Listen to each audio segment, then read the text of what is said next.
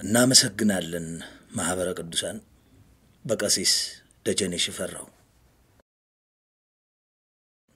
የዛሬ 14 ዓመት በ1998 ዓ ም ከኪራይ ቤተ ክርስቲያን ወጥተን የራሳችን የሆነ መሬት ወይም ሕንፃ ቤተ ክርስቲያን ለመግዛት ከፍተኛ እንቅስቃሴ የጀመርንበት ጊዜ ነበር። በወቅቱ አንድ ሺህ ዶላር በመስጠት የገንዘብ ማሰባሰቡን ያስጀመሩት የያኔው የሰሜን አሜሪካ ሀገረ ስብከት ሊቀ ጳጳስ ያሁኑ ፓትርያርክ ብፁዕ ወቅዱስ አቡነ ማትያስ ነበሩ። ከዚህ በኋላ ካህናቱም ምዕመኑም እንደየአቅማችን ከአቅማችንም በላይ አስተዋጽኦ አደረግን። በየጊዜውም አቅማችንን ለማጠናከር በአስተዋጽኦ ገፋንበት።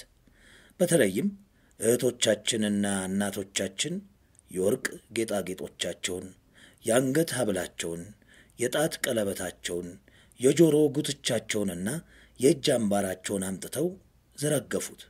መቼም የሰው ልጅ የቤተ ክርስቲያን ፍቅር ካደረበት ሕይወቱንም ጭምር ይሰጣል።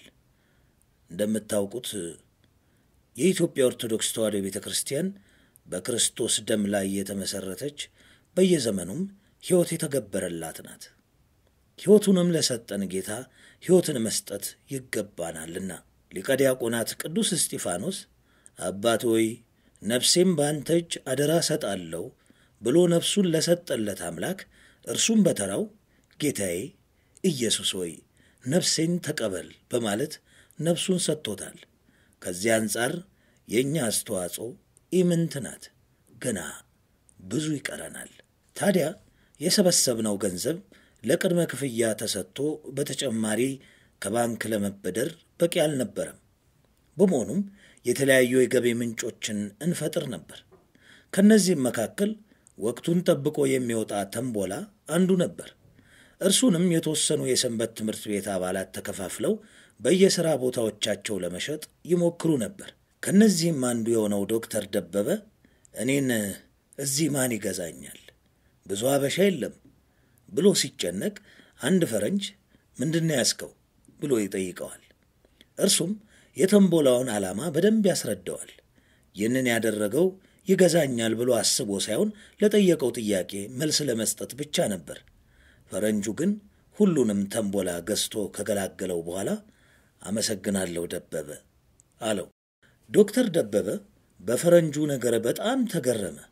ምክንያቱም በእግዚአብሔርም በሰውም ስለተደረገለት ነገር ሁሉ በማያመሰግን ዓለም ውስጥ አድርጎ መመስገን የሚገባው ሰው የተገላቢጦሽ በችግሩ ጊዜ የተረዳውን ሰው የሚያመሰግን ማግኘት ከማስገረምም በላይ ነው። ዶክተር ደበበ የሆነው ሁሉ ግራ ስለገባው ስላደረክልኝ ነገር እኔ ማመስገን ሲገባኝ ለምንድን ነው አንተ የምታመሰግነኝ ሲል ጠየቀ።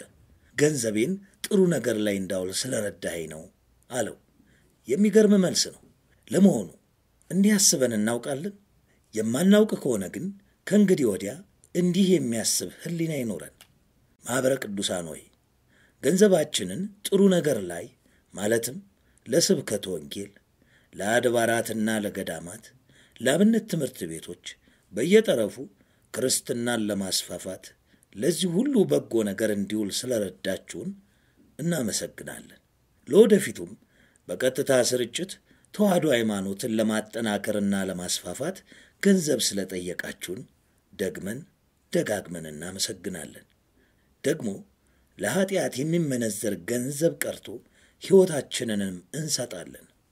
እግዚአብሔር ማኅበራችንን ይጠብቅልን፣ አገልግሎታችንን ያሳምርልን። በቀሲስ ደጀኔ ሽፈራው